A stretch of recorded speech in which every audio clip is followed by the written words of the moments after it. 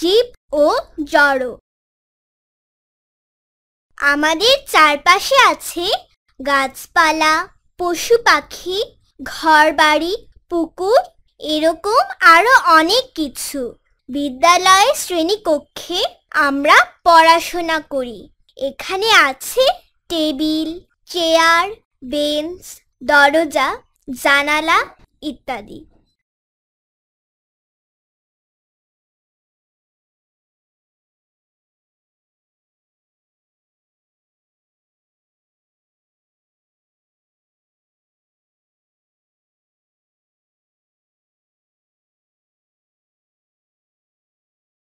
চারপাশে আমরা যা যা দেখি সেগুলোকে জীব ও জড় এই দুই ভাগে ভাগ করা যায়।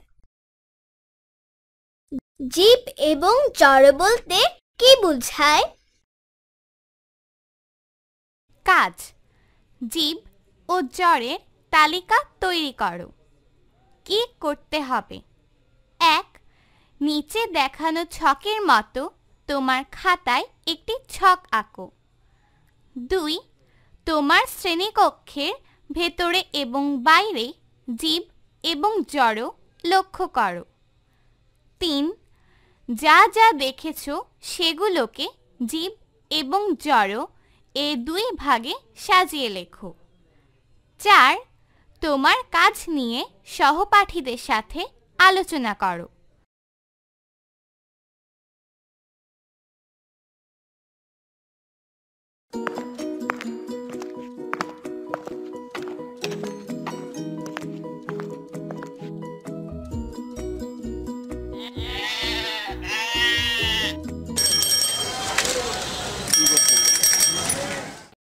দৃশ্যে যা যা দেখছ, তার কোনগুলো জীব, কোনগুলো জড়?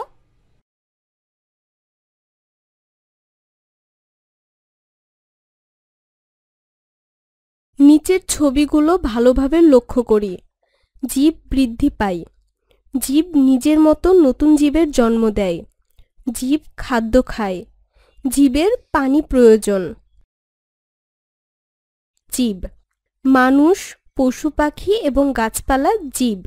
জীবের শরীরের বৃদ্ধি ও পরিবর্তন ঘটে। জীব নিজের মতো নতুন জীবের জন্ম দেয়। জীবের বেঁচে থাকার জন্য খাদ্য, পানি এবং বায়ু প্রয়োজন। দুই রকমের জীব আছে। এরা হলো উদ্ভিদ ও প্রাণী। গাছপালা এবং ঘাস হচ্ছে উদ্ভিদ। মানুষ, গরু, মাছ, প্রজাপতি পাখি, এরা হলো প্রাণী।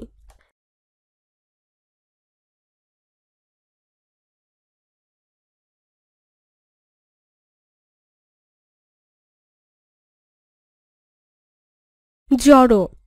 এক, স্ক্রিনে কি কি দেখা যাচ্ছে? দুই, এগুলোর বৈশিষ্ট্যগুলো বলি। গাড়ি, চেয়ার, টেবিল এবং বই হলো জড়ো। বায়ু, পানি, মাটি, এগুলোও জড়ো। জড়ো খাবার খায় না, পানি পান করে না, বৃদ্ধি পায় না। এরা নিজের মতো অন্য কোনো বস্তু তৈরি করতে পারে না।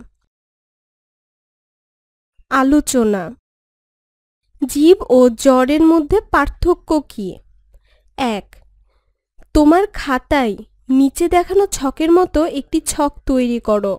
দুই ছকে জীব ও জ্বরের বৈশিষ্ট্যগুলো লেখো। তিন, তোমার কাজ নিয়ে সহপাঠীদের সাথে আলোচনা করো। জীব, বৃদ্ধি পায়। জড় বৃদ্ধি পায় না।